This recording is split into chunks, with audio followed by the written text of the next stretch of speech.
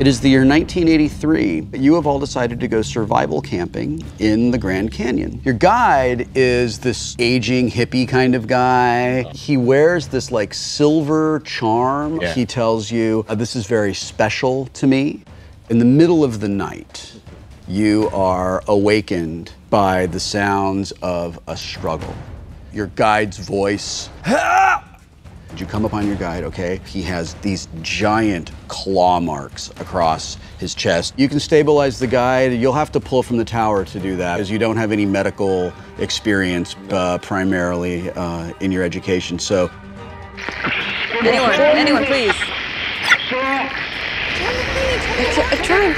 you're pretty sure that, that whatever this is, it just made you. It was looking directly at me. It's pretty freaky. We need to get back in the raft and, And go downriver. There is a shape uh, that's Above up us? above you. So you look up, and as you are looking up, you see this creature, and it leaps Oh. over the canyon. What? And it locks eyes with you again.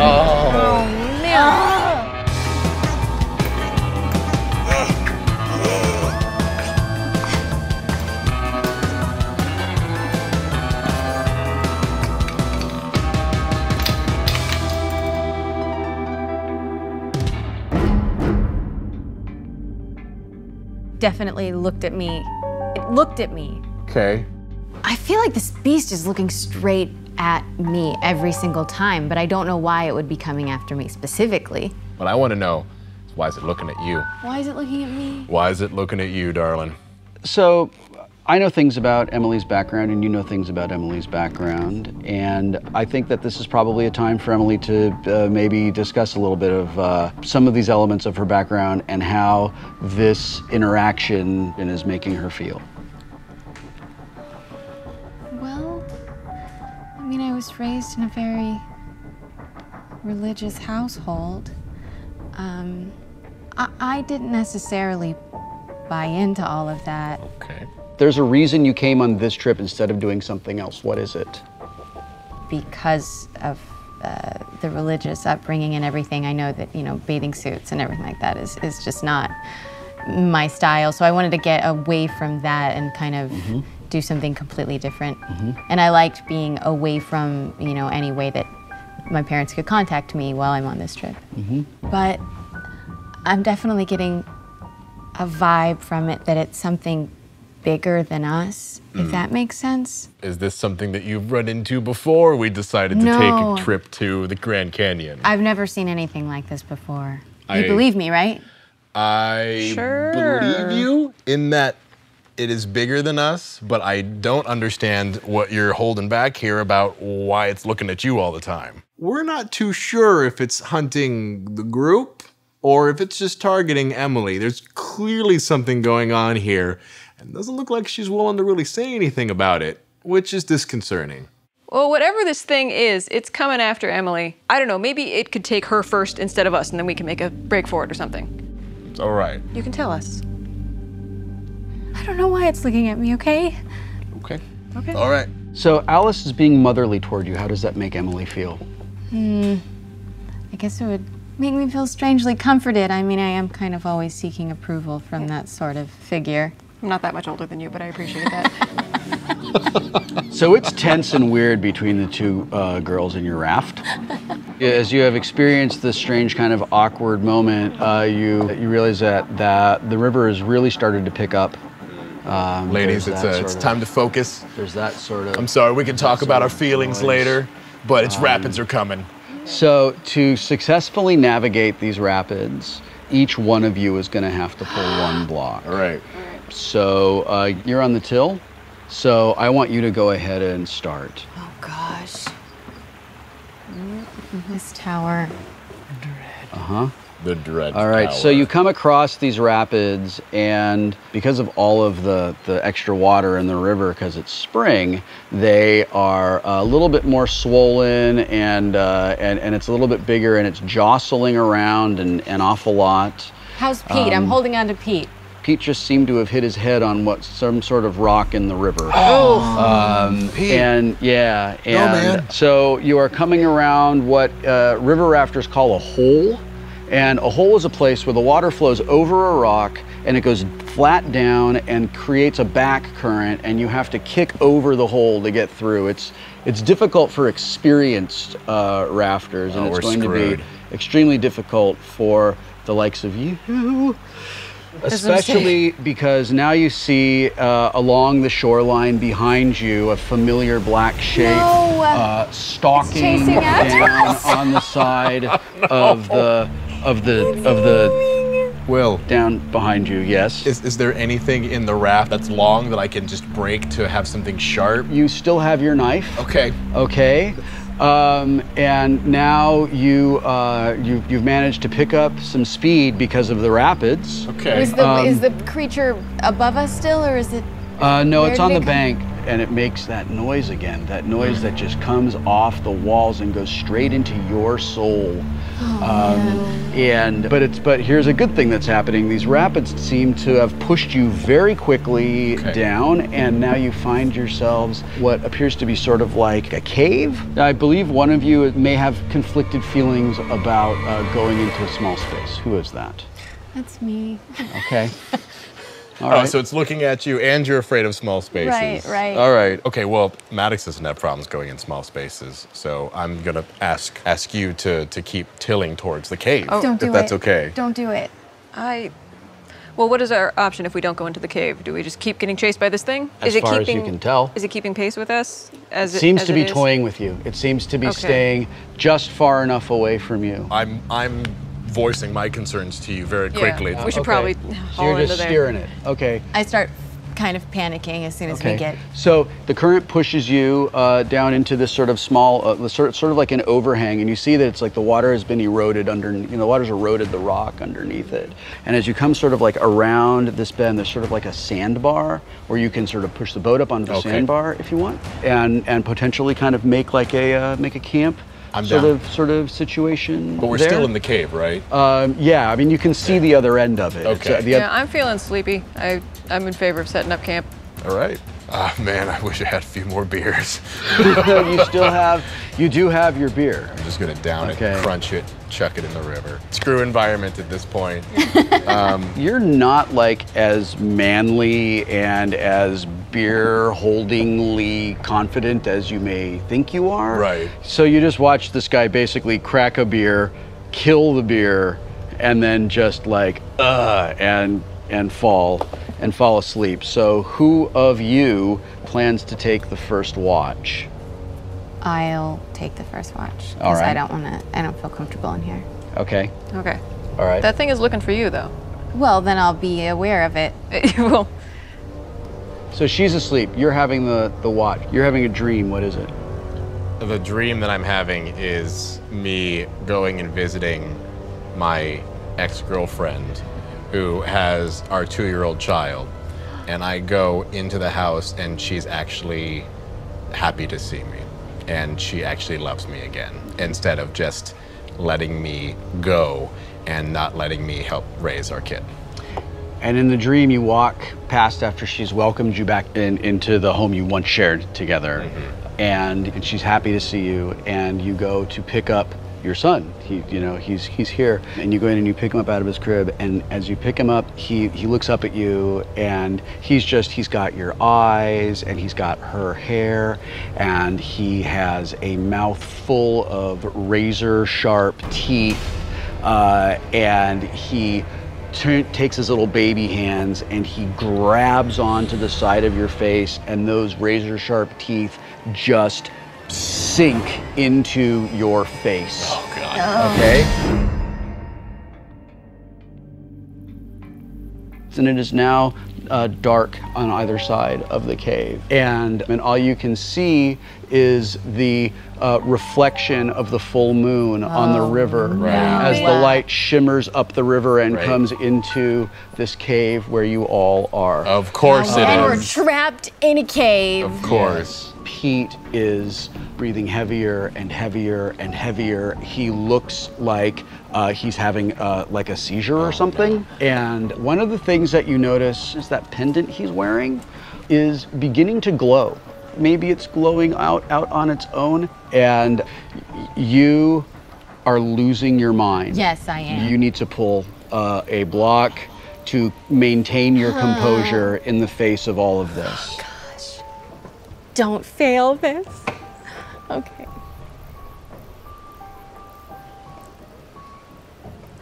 Okay. Okay. Okay. Controlling my Okay. breathing. You're, you're, you managed to. Oh gosh. Uh-huh. Oh Gosh. Okay. Okay. All right.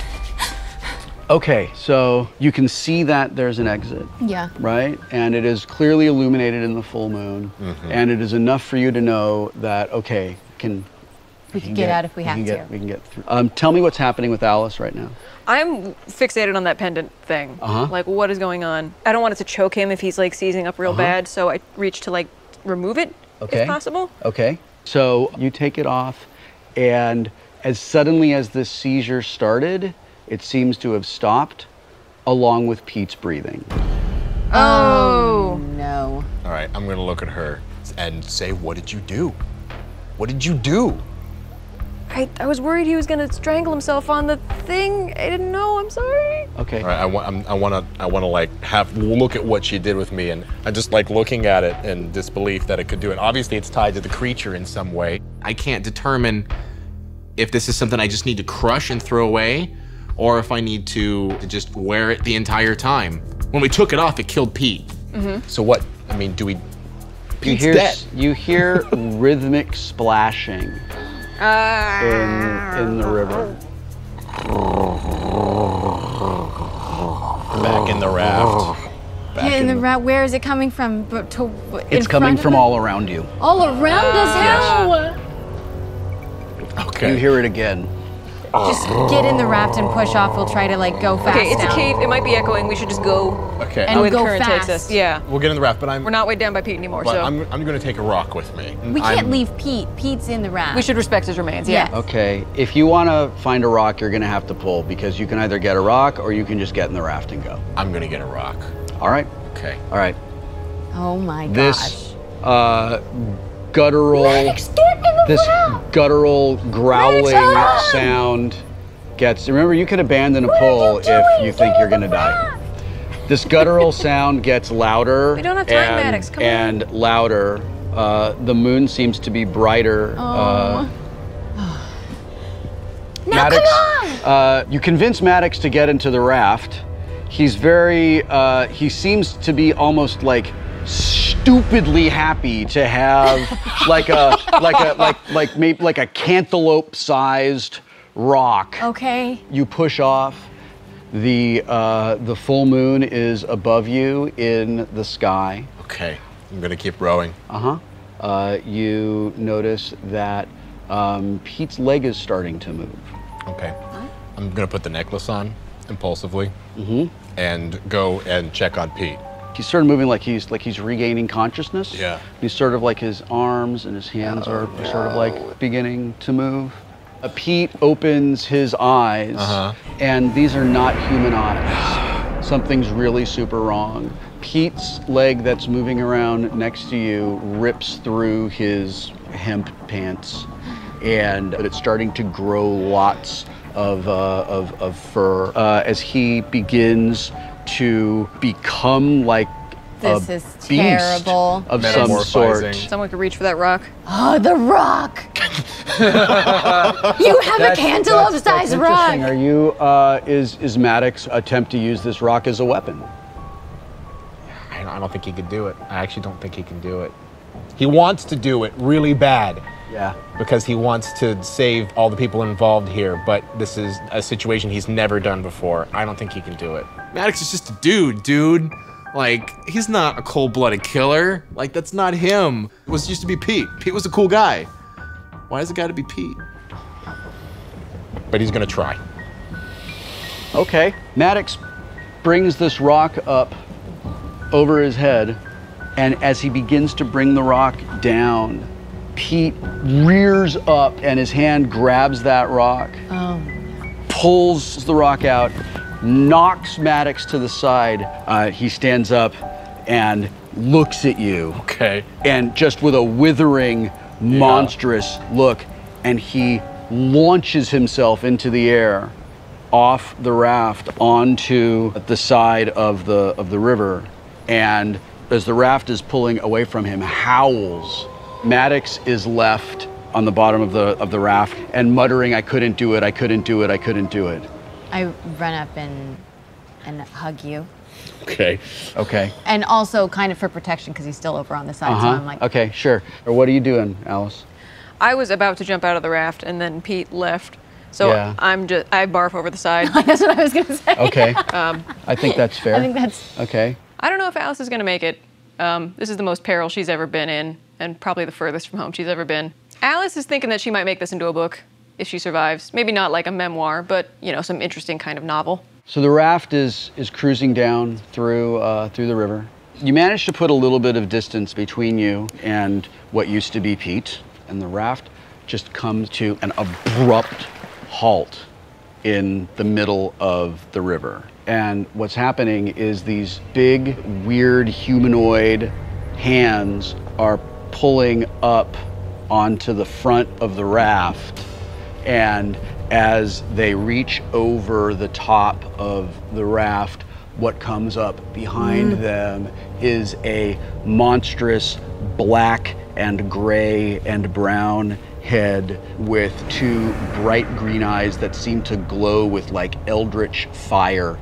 Um, now Maddox and Emily see this thing coming up to get into the, the raft. yeah. Um, it looks at you Yeah. and, and it starts to get close to you and then spins away from you and it comes toward Emily. Um, you are close enough to Maddox that you could pull to get his knife. that's smarter than what I was gonna do. What were you gonna do? I was gonna reach behind me and grab for a flare and try to shove it in its face. You can do either one of those things. It's up to you. But I'm gonna go with my first instinct. Okay. All right. Its hot breath is is on you. Okay. Um, it's looming over you as you pull the flare out. You grab that flare, and you uh, you you, you, Oh, you grab the you grab the cap. Don't You do take the this. cap. You take the cap off the flare Oh, on the on the top of it. Um, sort of Oh. like So loose before, and now it's not working. Okay, I'm stopping. I'm stopping. I'm stopping. It's, oh, it's gonna fall. If I abandon the pool, what happens? really bad stuff is going to happen. But I don't die necessarily. Are you sure? I don't know. I don't know. You have to do this pull. You can do this. I think you're gonna get you killed. How, how much it doesn't want to come out. Okay, wait. No, no. Wants to. It's okay. Oh God, no! I'm abandoning. I'm abandoning. This is not working. Okay. Oh no. I mean, come on, it's a flare against a werewolf. You manage to pull that flare out. Yeah. You strike the flare, and in your efforts to move it up to this creature, you actually put it into the side of the raft. And it burns a hole in the side of the raft. Um, and the creature leans down and it puts one of its big claws down on on top of you. Do either one of you guys want to try to try to save her? You got a knife. Uh, yeah, yeah, I'm right next to her. go for that I'm gonna try to snatch out of my catatonic state Uh huh. and instinctively help her Uh huh. any way I can. So it's leaning, it's bearing down on her. Jeez. I'm just gonna try to grab her and go over the side. Uh huh. You manage to jump up. You get your knife into the back of this thing. Oh, good job. okay, all right. yeah. All right. Yeah. Good going. And then grab Emily and roll out of the raft. Okay. They splash out of the raft. This thing rears up and now it turns around and now it's pissed. And it turns on you. And you have one second to decide what you do. I, what is in my bag? I try and like poke it in the face with the radio because that's all I that I'm aware that I have. Um, you're gonna have to pull to not die. Okay. Oh no. Oh no. Are you in the water or not? I'm probably in He's the still in the raft the- that is falling the apart. floppy carcass of the raft. Oh my. I'm astonished that you managed to survive that. okay, it bears, it comes bearing down on you, and you pull out, and you pull out this thing, and as you're pulling it out, Mm-hmm. you just lose your balance and fall off the raft and into Alice. the in, in, into, into the water. You guys don't know what happens because you're all underwater and swimming and scrambling gurgle, away. But you make your way uh, to sort of like the shallower part of the water, and when you turn around again, there's the beast. And the right beast is standing on two legs, and Maddox's knife is sticking out of the back of its head, and it starts to just sort of pace back and forth, and then it drops down to four legs, and it walks around in a circle. Can What I you do? try to find a big branch or anything around us? Uh, you'd have to pull for it. God, don't want to pull for anything. You hear twigs breaking behind you. Oh no. So creature circling in front of us, twigs breaking behind us. Okay. I'm, No. I'm gonna instinctively grab the pendant Okay. and hold on to it. Uh huh. It is so shaky. You, uh, you look quickly to your right and uh, sort of then back down to your left, and you see that there's uh, there's some there's some actually a, a, a pretty pretty a pretty decent sized piece of, of pine wood that, as it turns out, is kind of the same size and, and, and weight and shape of like maybe like a baseball bat. Uh, and you reach down and you pick it up, and uh, and you pull it back and you and you wield it. And where are you? I'm trying to find some bush to hide in. Interesting choice. Okay. And you're standing there holding your you're holding your pendant. I'm gonna I'm gonna Uh-huh. just ask the creature. I'm just gonna yell at it. Okay, gonna go look ahead. At it. I'm just gonna go, why Pete? At that moment, another beast similar to the one that is now pacing in front of you comes crashing through, lumbering on four legs, uh, and comes running up toward you. Why another one? Really? We have to contend with another one? You want to try to hit it with your uh, stick? Um, you're going to have to pull. You're pulling for your life, is what you're doing. Great. uh, it's sort of like breathing and snorting and uh, and kicking up dust.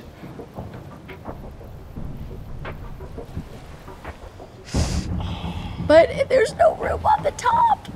How do I scoot him All right, one-handed? it's bearing can- down can on you. It's the- running up the path. You uh, reach back Ah!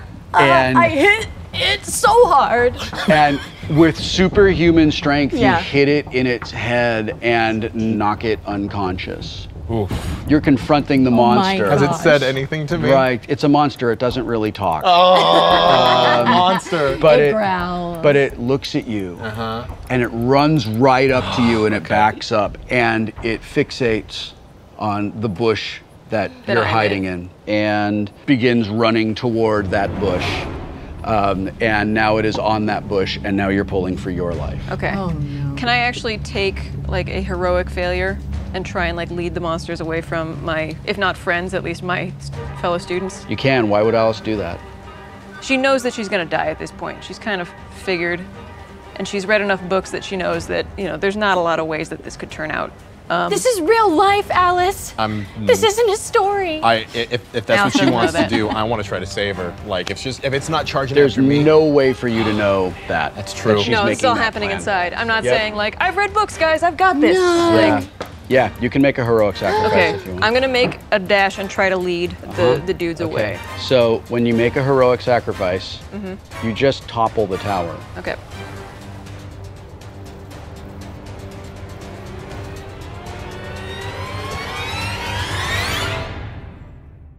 Cheers. Oh! Wow. wow. All right. Alice. well done. Good. you ran into the river. Alice, ex- splash, splash. Alice explodes out of this bush where she's been hiding. It runs with her. She leads it off into the river.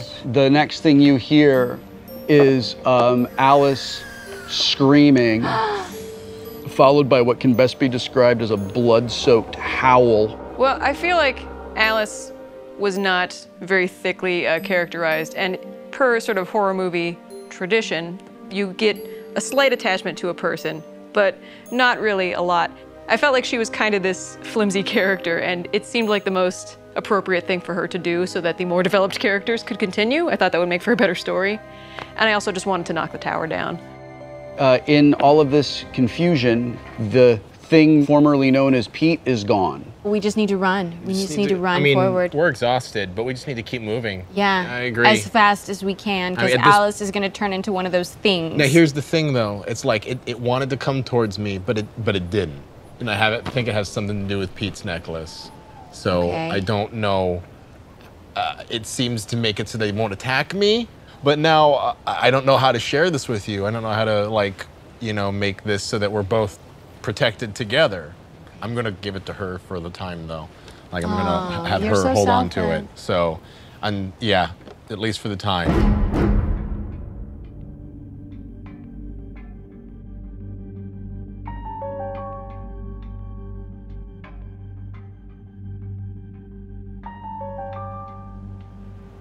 Okay, having rebuilt the tower now, clearly there's no ambiguity. Alice is dead. Oh. Um, and you have elected to push on down the river. What I need each of you to do is pull two um, to survive until the sun comes up. You pull one, I'll pull Okay. one, then you pull one, This then I'll pull this is one. okay. fair plan. So as you work your way down, some of the ground is very uh, is very uneven and is uh, really uh, uh, treacherous. Uh, you have to scurry up over a couple of uh, like rock cliffs that are up above the river. Did you use two hands on that there, Captain Cheats a lot? Oh, I'm so sorry. Uh, you want me to put it back? No, no. I just want to make sure that everybody knows that I saw you do that.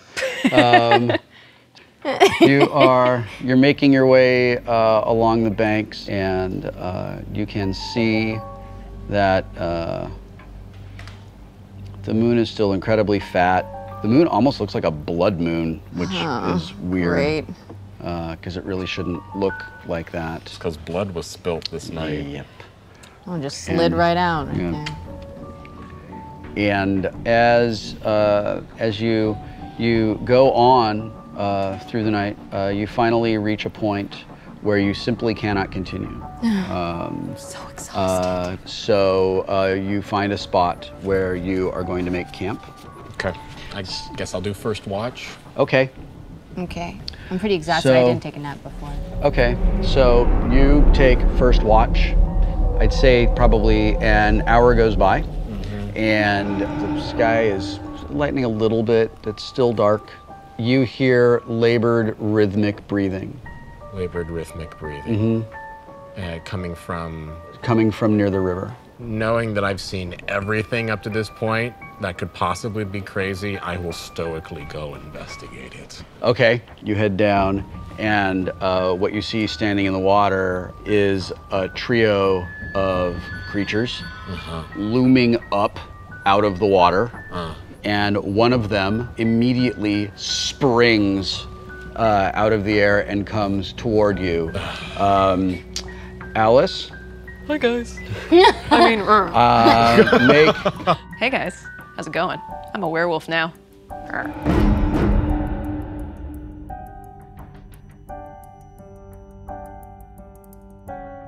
Make a pull, please, Right. to avoid being uh, attacked.